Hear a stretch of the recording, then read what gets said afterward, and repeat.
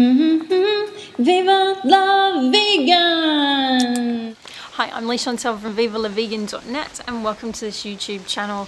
We're here every Thursday with this question and answer series and today's one is What's Asia like for vegans and activism? I travelled in Southeast Asia for six months and then again for five months in 2012 and 2013. I went to Indonesia, Malaysia, Thailand, Burma, Laos, Vietnam, China and Cambodia and I had an amazing time. I loved the places and I loved the people there. Um, there's there's many religions in Asian countries, from Buddhism, Hinduism, and Islam. Buddhism and Hinduism are both somewhat vegetarian religions, so it was easy to eat, especially if you found places that catered to these religions. The places that are more touristy and have a lot of Western owned cafes and restaurants will have the most Western style vegan food.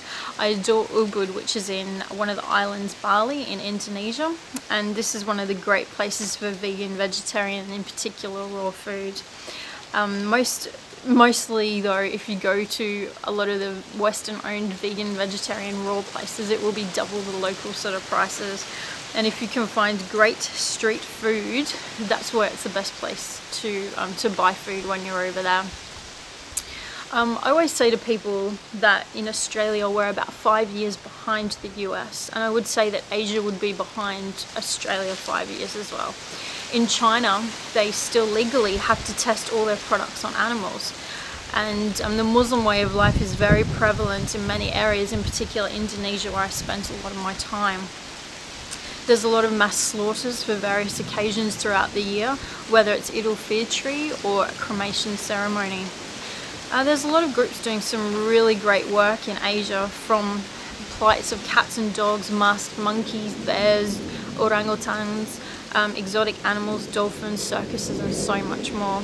I spent a bit of time with the volunteers from a place called Animal Friends Jogja and Jogja is short for Yogyakarta which is a place in Java in Indonesia and um, they do a lot of amazing outreach and in particular to kids.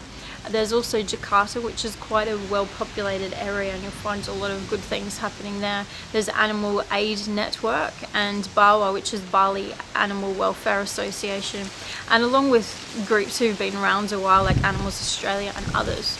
And the best way, I guess, that um, you could you could um, do something is just get involved, find what exists in the place that you're staying or you're visiting, and um, just ask some people if who've been there before what they suggest and how to get involved. I definitely suggest that everyone should go to another country and experience a different culture than their own but you have to be ready to do a lot of research. For example, our version of a sanctuary is in most cases not the same for our Asian friends and there are many places where animals are drugged or held captive just for Westerners' money. There was one place that I went um, that I was just absolutely devastated. I did a bit of research online it seemed to be a great place, but some of the places you just really don't know until you've been to them.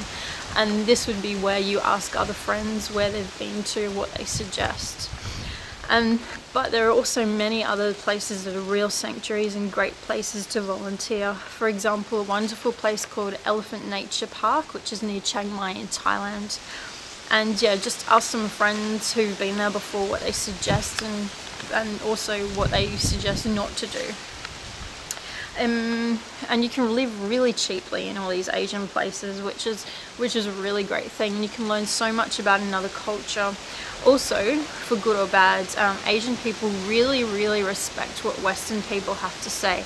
So if you have the chance to talk at a temple or a group of people or anything like that just you know I really suggest that you do it I spent a lot of my time speaking at various vegetarian events, especially for a Buddhist community and at Buddhist temples. And I also did a lot of media work over there. It was a great time and I made some really great lifelong friends.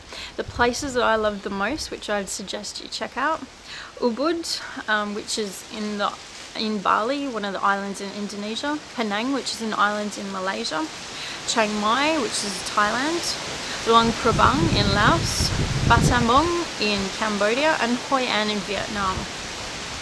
All of these places had vegan food within walking distance from where I was staying, and I was staying at really cheap sort of bungalow places the whole time you uh, keep in mind you won't get some of your western sort of vegan alternatives in these places. You're not going to find Daiya cheese you're not going to find it was actually really hard to find nutritional yeast flakes for some of my food demonstrations I did.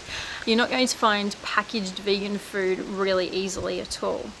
Um, you can get it and some people may be able to order it from you say from Singapore and maybe even Jakarta but if you go to some of these places I mentioned you're probably not going to find it but you will get to try some really amazing food over there in particular the fruit and veg. And one of my favorite things is um, fresh Indonesian tempeh with sambal which is this chili sauce. It's one of the best things in the world. And one day I'll actually get around to releasing my Southeast Asian Adventures book and you can see it on the vivalavegan.net website or the blogs well most of the blogs that I wrote when I was over there and I hope it helps and I hope you find some great places to visit while you're over there and let me know if you have been to any other places. And um, hope to see you next week for the next question and answer which is how do I give up cheese? Thank you